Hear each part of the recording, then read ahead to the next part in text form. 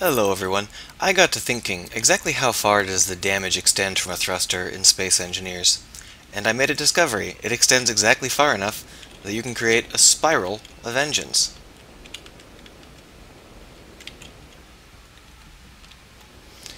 Now I haven't happened to see any spiral engined ships before. I'm sure other people have discovered that, you know, it's it's possible, but since I haven't seen any, I figured I'd make one and give you, you know, a little demonstration of this little racing shuttle I've created.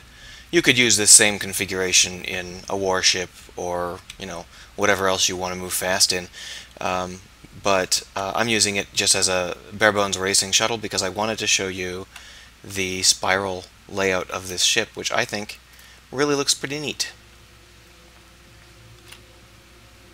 And this is a fast ship because it's mostly engines. wow. Anyhow, if you haven't seen a spiral engined ship before, now you have. And you can create your own pretty easily.